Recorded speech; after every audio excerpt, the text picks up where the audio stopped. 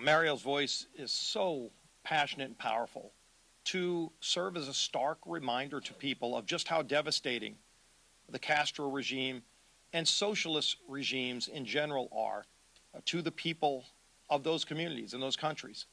Uh, socialism is not only a failed ideology, so often those regimes that embrace socialism also deface and violate the human rights of the very people that live under those regimes. And anybody who wonders if that actually happens, just go talk to Mario Diaz Balart or so many other people who uh, fled that country uh, because they saw the devastating consequences of what socialism does to the human rights of people. And so, while the major leading candidate for President of the United States on the Democrat side is embracing some of the policies of the Castro regime, that same week, he's criticizing an organization like AIPAC, who fights for freedom, who fights to have not only uh, this great bond between the United States and Israel be maintained in supporting our dear friend Israel as a Jewish state, uh, but literally picking sides uh, in this fight for determination of whether or not uh, there will be uh, a two state solution whether there will be a Palestinian state.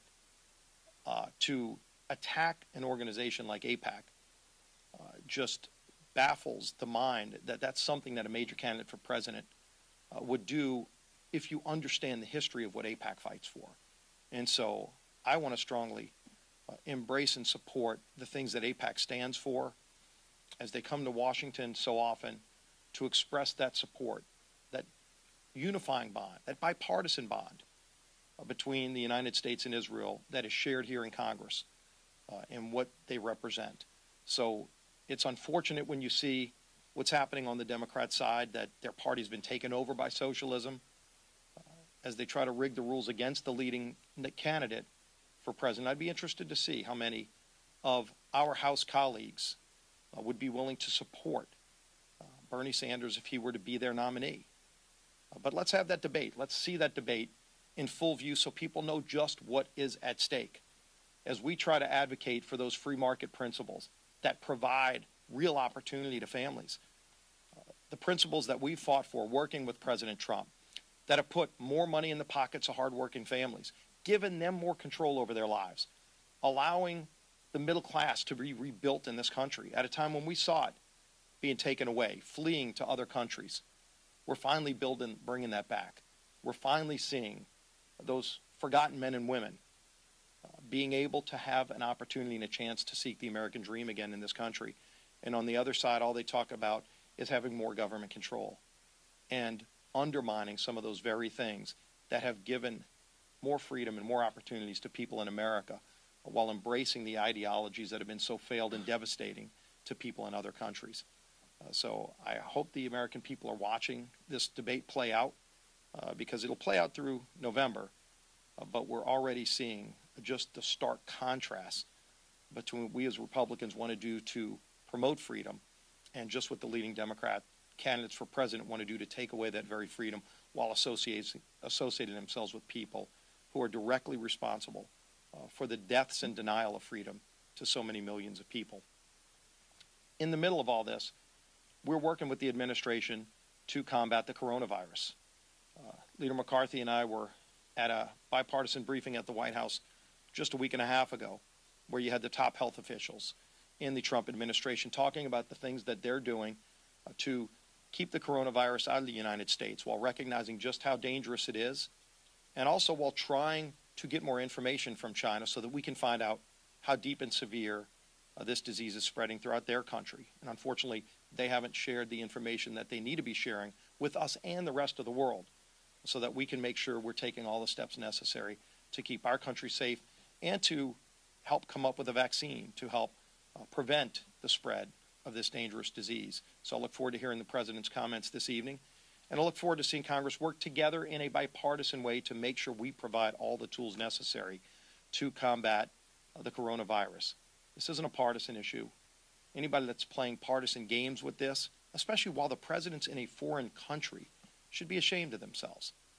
That's not how we conduct business. That's not how we solve problems. We work together, uh, like we've done when we were in the majority with President Obama, uh, to make sure whether it was Ebola or any other disease that we were working with the president to combat it, not to try to find a way to divide the country, but by finding a way to work together.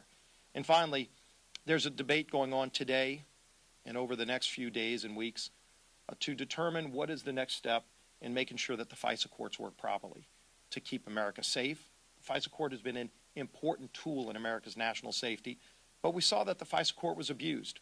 Clearly, in the 2016 elections, there were some people in our intelligence agencies who abused the FISA court to carry out their own political agenda. That should never happen in the United States of America. The people who did it ought to be held accountable. The Horowitz report identified some of those problems. I hope that the Durham report actually names names so that the Attorney General can hold those people accountable who abuse their positions of authority uh, to try to change the outcome of a presidential election. And so, as they're moving this through, it should not be done in a partisan way, which unfortunately Chairman Nadler is carrying out. When members on our side, uh, from Ranking Member uh, Collins and Jordan on down, have proposed good reforms, reforms that should be bipartisan, uh, that not only make sure it doesn't happen again, but put real criminal penalties in place so that if somebody does violate the law, they're fully held accountable. That's something that needs to happen, and I hope does happen through this process. Unfortunately, it's not happening in Chairman Nadler's committee yet, but I think he, as well as others, will recognize this is something that we need to come together on and work and address. No president or candidate for president ought to have federal agencies working against them in an election. Our elections ought to be free and fair and decided by the American people, not by bureaucrats in Washington abusing their power to try to determine the outcome of an election or foreign countries.